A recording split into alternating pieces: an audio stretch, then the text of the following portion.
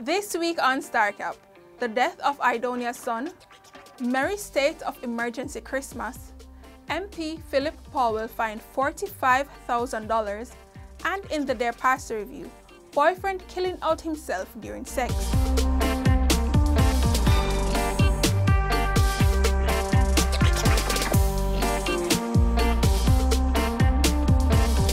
Hey Star Fam, I'm Jalene, and welcome to another week of StarCap a recap of the big stories that lit your attention this week. The dancehall fraternity and fans of dancehall artist Aidonia were left in shock on Saturday, December 3 as news began circulating that his son had died.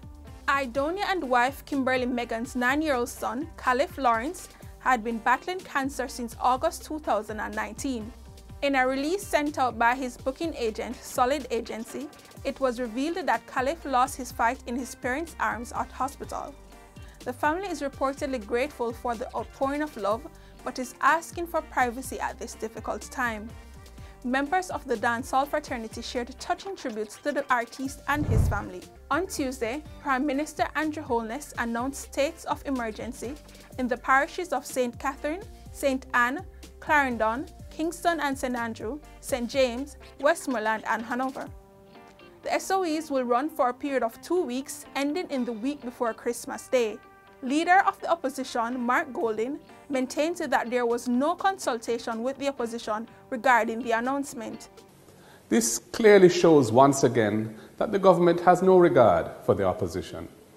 Mr. Holness prefers to be wrong and strong, pressing on with his SOE policy. His behavior indicates that he really does not want our support, no doubt believing that it is to his political advantage for the opposition and the government to be continuing at odds over this issue. We do not see the use of states of emergency as a policing tool as being a sustainable path forward for Jamaica. Member of Parliament for Kingston Eastern and Port Royal, Phillip Paulwell, was on Wednesday fined $45,000 for losing his firearm. Paulwell was charged for negligence after his firearm was stolen in July. His report is that he made a brief stop in the Hope Pastures area, exited and locked his vehicle.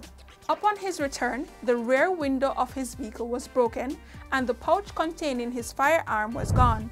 In Dear Pastor this week, boyfriend killing out himself during sex. What seems to be a case of long-distance thriller is killing the relationship of a 19-year-old young woman and her 25-year-old partner. The woman wrote into Pastor Dumas seeking advice because her boyfriend constantly takes sex enhancers so he can last longer and perform better. According to the woman, they do the complete opposite and it has now become a turn off for her. She has since found comfort in the arms of an older man she says performs much better, is more caring and does not need the help of enhancers. She is conflicted because she does not want to break up with her boyfriend, but the loving of the older man is enticing. Pastor's advice states, I am not encouraging you to go with this older man, but that is totally up to you. If this older man is a much better lover, your boyfriend will lose you. Try and convince him that he is not helping the relationship by using these sexual enhancers. What say you, StarFam? And that's it for this week's StarCap. Remember to follow us on Facebook and Instagram at The Jamaica Star and on Twitter at Jamaica Star.